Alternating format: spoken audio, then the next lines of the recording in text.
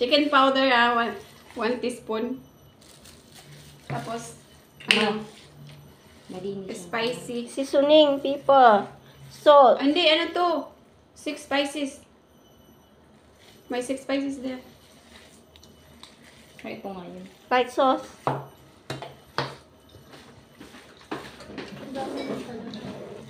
Black pepper, no?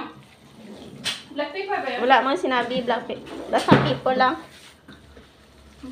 Black pepper. Black pepper.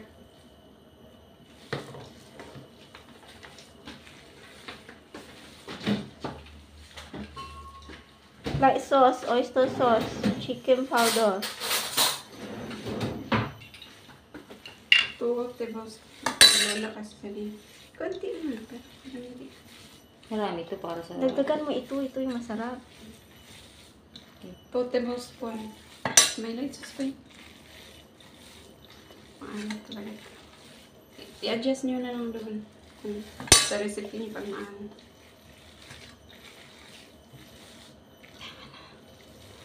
Three tablespoons. Yung egg mo sana.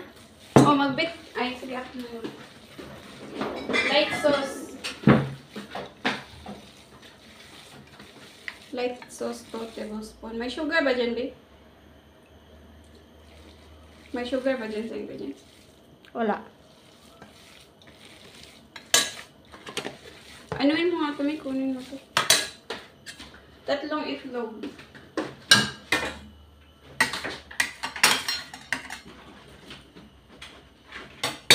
Sticky na naman yung itlog.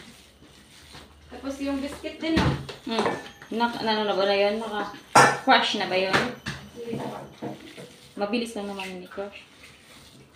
Yun na yung pang finale, di ba? Masarap to galing sa kamay ko eh.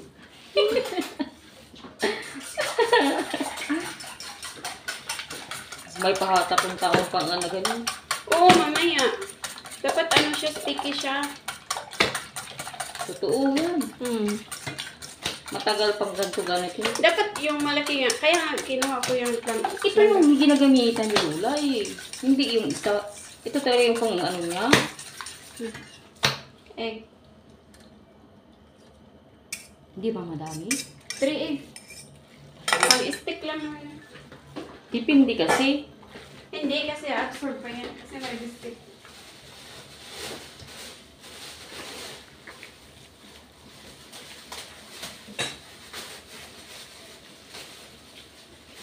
Yummy to. Milin. Sobrang yummy to. Impose. Imbis, imbis na cabinet yung gamitin ito. Pigain mo na lang ni. Imbis na ano?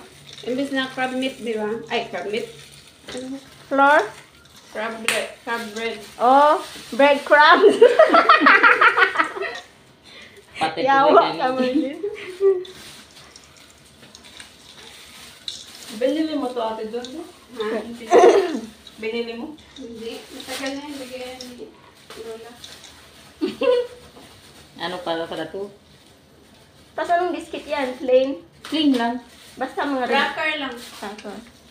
Pero may, may pangalan, may talagang, kung gusto mo talagang sundin yung recipe, may pangalan yung doon. Punta ka lang din sa market, eh, pagkita mo sa auntie doon. May ganitong biscuit.